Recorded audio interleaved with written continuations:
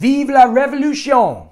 Property revolution, to be exact. Yes, Jeremy Hunt, our Chancellor, in the autumn statement last week, revealed something that no one was expected that is going to change the face of property investing moving into 2024. Over the last couple of years, it's been more and more difficult to invest in property in the traditional way. Standard buy to lets have been massively hit with tax changes, increases in mortgage rates, and it's just meant that cash flowing on those types of properties has become more and more difficult. Investors have been trying really, really hard to find new ways and new strategies to add value to their properties, to invest their money more wisely. And has our Chancellor Jeremy Hunt just given us a trump card to be able to do so moving into next year? In this video, we're going to talk about that little side nugget that Jeremy Hunt added to his autumn statement, which will allow under permitted development rights the conversion of a single dwelling residential home into multiple units. Stick around.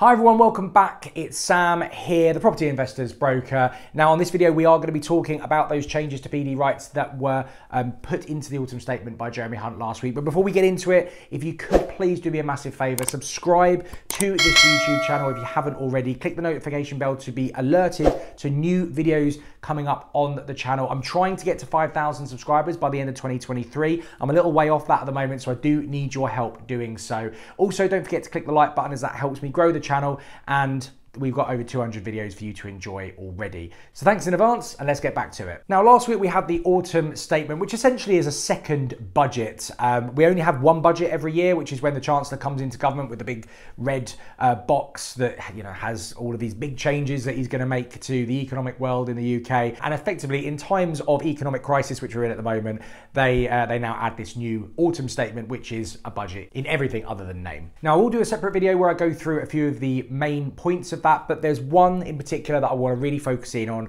on this video, and that is the change or the potential change to permit development rights, a consideration to the change of permitted development rights that the Chancellor is going to be looking to bring in in 2024, which is going to really help a lot of property investors. Now, this is to do with, as I said, permitted development rights. For those of you that are the uninitiated, permitted development rights are a way of basically fast tracking planning or avoiding getting planning permission. There are various permitted development rights already in place, some of the most famous of which are the ability to convert a C3 family home into a C4 small HMO outside Article 4 areas, or the more recent, which is converting commercial property into residential property. With those types of things, there are a few others. You don't need to go through the full planning application or to do that. As long as you're hitting a, a few bullet points, a few check boxes, then this will be fast tracked. And there's a 56 day turnaround to get permitted development in place.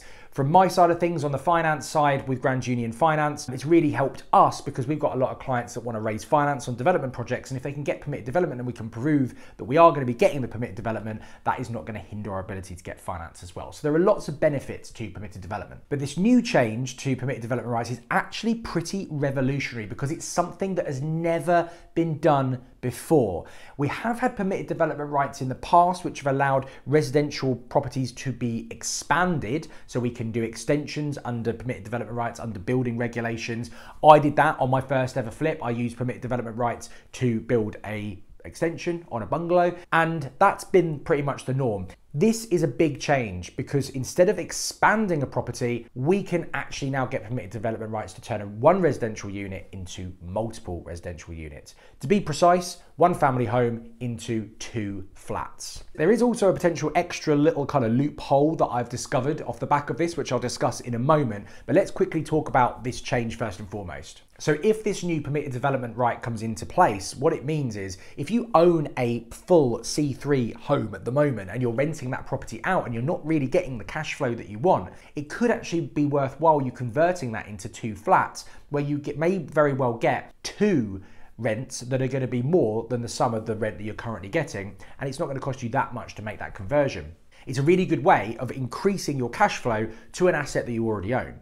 In addition, it then can become a really good strategy in certain areas to purchase C3 family homes and convert them into two flats straight off the bat as a development project. Through my initial research, I think this is going to work best in areas where the value of the house is at or above the national average. Low value homes, you know, your small terraced properties up in the north potentially, this may not work quite as well. You're just not going to see the rental income back, the yields back um, to make these sort of changes worthwhile. But certainly in London and the southeast and other areas that are high yielding that sort of match where the national averages are, like in, in certain areas of the West and East Midlands, this sort of strategy could work really, really well. So it's a massive, massive change that I think is going to help a lot of property investors. Now, I did say earlier on that I think I found another little sort of strategy that might help, a double whammy, if you will, when it comes to these permitted development rights. Now, I came up with this because um, there is something similar that's already happening in the commercial side. As I mentioned earlier on, at the moment, you can get permitted development rights to convert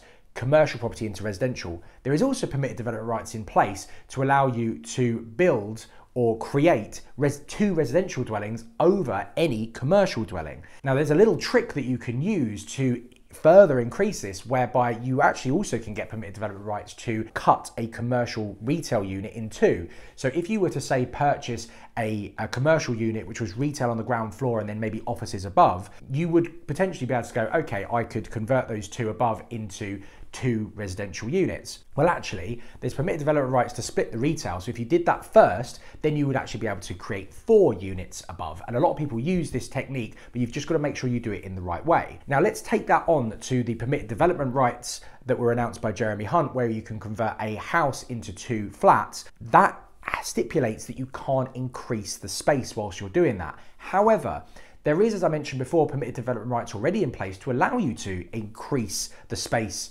uh, of a residential property within building regulations, i.e., you can expand and build an extension. It's you know you can't go over a certain percentage of the current square footage, and you can't go out beyond two meters from the existing building.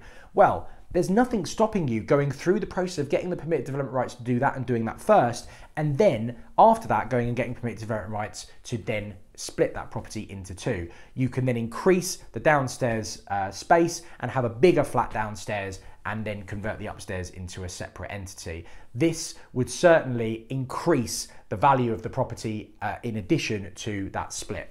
It remains to be seen whether there's going to be any restrictions on being able to do that, but the fact that you can do that on the mixed use, as I mentioned before, suggests to me that as long as you're doing it in the right order, this could also be an extra little double whammy strategy that property investors can take advantage of going into 2024. Now, if you're thinking of getting into property or you're already in property and you're changing strategy and you're not really sure how you're going to finance some of these things, well, I've got some good news for you. As many of you already know, I am the owner and director of Grand Union Finance, and we are a specialist mortgage brokerage that helps property investors and developers. We know all about your strategies and we know all about the different finance products that are available to you guys in order to accomplish those strategies. Now, if you do want to get in touch with us and discuss anything to do with mortgages, bridging finance, development finance, or commercial finance, there is a link in the description for you to get in contact, and one of our brokers will be in touch to help you. As I mentioned already, if you haven't subscribed already, please do so. I am trying to get to 5,000 subscribers by the end of the year. Also, if you have enjoyed this video, YouTube is about to recommend you two more videos of mine that you may also want to check out. Thanks very much for watching. I'll see you on the next one.